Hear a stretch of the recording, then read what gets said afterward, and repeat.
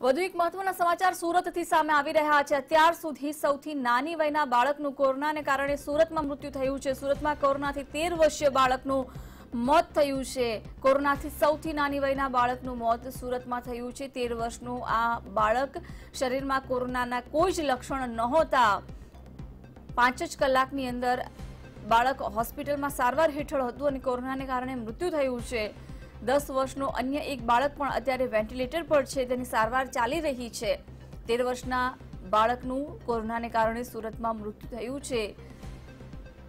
અન્ય એક દસ વર્ષનું બાળક અત્યારે સારવાર લઈ રહ્યું છે, જે વેન્ટિલેટર પર છે. કોરોનાથી સૌથી નાની વયના બાળકનું મોત થયું છે સુરતમાં. શરીરમાં કોરોનાના કોઈ જ લક્ષણ ન હતા. તેનું મોત થયું છે. બાળક ખાનગી હોસ્પિટલમાં સારવાર હેઠળ હતું. અને આજ અંગે વધુ વિગતો સાથે ફોનલાઈન પર સંવાદદાતા સંજય મહંત જોડાયેલા છે. સંજય, સુરતમાં સૌથી નાની વયના બાળકનું કોરોનાથી મૃત્યુ.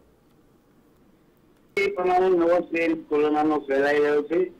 અને આ સ્ટ્રેન બાળકો માટે પણ ખતરનાક હોવાનું તજજ્ઞો જણાવ્યું છે ત્યારે સુરત શહેરમાં એક તેર વર્ષના બાળકનું કોરોના પોઝિટિવના કારણે મૃત્યુ થયું છે. ખાનગી હોસ્પિટલમાં આ બાળક સારવાર હેઠળ હતી જેથી કરી આ કોરોના થયા બાદ વેન્ટિલેટર પર મૂકવાની નોબત આવી હતી અને ધીમે ધીમે તેની છે ગંભીર બનતી ગઈ અને છેવટે બાળક કોરોના સામેની જંગ હારી ગયો છે. ત્યારે વધુ એક બાળક પણ કોરોનાની સારવાર લઈ રહ્યો હોવાનું જાણવા મળી રહ્યું છે. ટૂંકમાં કહી શકાય કે જે પ્રમાણે પ્રશાસન ચિંતા વ્યક્ત કરી રહ્યું હતું કે બાળકોમાં પણ આ કોરોનાનો નવો ટ્રેન્ડ છે, એનો ચેપ લાગી રહ્યો છે અને તેની અસર હવે ધીમે ધીમે સુરતમાં પણ જોવા મળી રહી છે. ત્યારે સુરત વાસીઓ માટે, સુરત પ્રશાસન માટે ખૂબ જ ચિંતાજનક અને ભયજનક બાબત કહી શકાય. બિલકુલ, સંજય, આભાર સમગ્ર માહિતી આપવા બદલ. તો સુરતમાં વધુ એક ચિંતાનો માહોલ બાળકોમાં પણ સંક્રમણ ઝડપથી વધી રહ્યું છે.